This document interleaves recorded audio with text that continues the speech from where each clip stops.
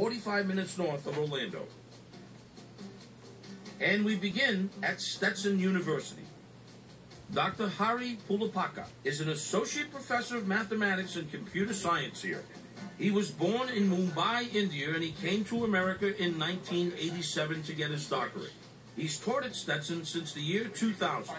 His wife, Jenneffer, is also a doctor, but the medical kind. She's a podiatrist and owns the DeLand Foot and Leg Center. When the Pulapakas finish their day jobs, they come here to run their own restaurant. Hey, when do these guys sleep?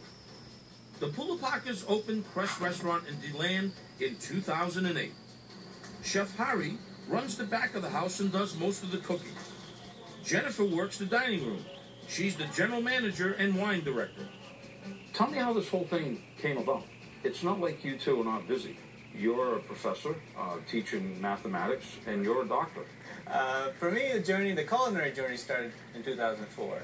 And I went to culinary school, got trained, apprenticed here and there. Three years later, this place opened up for sale. Uh, and it took a leap of faith for us and uh, started this restaurant. Neither Hari nor Jenneffer have ever owned or managed a restaurant before opening Cress.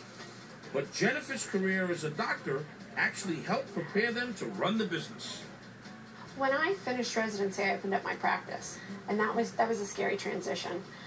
So when we came into the restaurant, it was an easier transition because I had the feel of how a business should be run. But I enjoy being able to have a different side because it's all business when you're seeing a patient or you're having to go to surgery. And it's nice because it's like hosting small parties when I'm here on this side, so I get to have a, a different approach That's to the of same day, different approach. Cress has been acknowledged as one of the top restaurants in Central Florida. The menu is international, but you can sure find Indian influences in the dishes Chef Hari creates. And I grew up in India, so the cuisine of India, as you know, is big and it's flavorful and it's seasonal and it's artisanal. At the same time, it's an old, old cuisine. You, know? Yes. you can't mess around with those spices if you don't know what you're doing. The menu at Cress changes throughout the year and is primarily based on locally sourced ingredients. The chef prepared a number of dishes, and he started with two made with wreckfish, a deep water fish found in caves and shipwrecks. It's similar to grouper or snapper. This is the bright ceviche. It's my Asian twist in the ceviche. You know, I've got some coconut milk and ginger that makes it sort of more on the Asian side. It's a nice thick slice. Uh, you get somewhere between a sashimi and a ceviche. Perfect. Thank you, chef. And this is a more of a rustic dish, or a seaside dish, if you will, an herb-crusted preparation. The herbs are tarragon and parsley and basil. Panko breadcrumbs. know. Same fish. Same fish. Look at Same how, fish. Look at how juicy that is. Yes. A little citrus beurre blanc, some Hawaiian salt if you want some more seasoning. That is awesome. So this is uh, the Italian in me. I'm a big fan of Italian food. I'm with you. Fresh pasta with some lardon of pork jowl. Mangalitsa pork jowl comes from Summerfield here in Florida. Uh, I've got some red corn from California, some golden chanterelles, chili flakes, some quail eggs to bind it together. My take on a carbonara, if you will.